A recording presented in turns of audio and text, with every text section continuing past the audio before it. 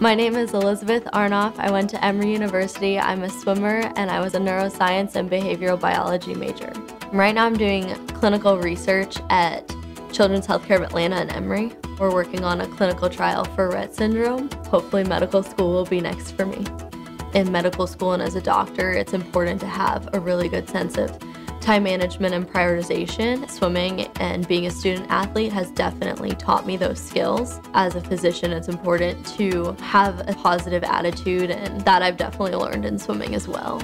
In 2014, I won the 200 yard breaststroke national championship. When I realized I had won the national championship, I was kind of in disbelief and it was just a lot of joy and relief that all of my positivity and determination and perseverance finally paid off.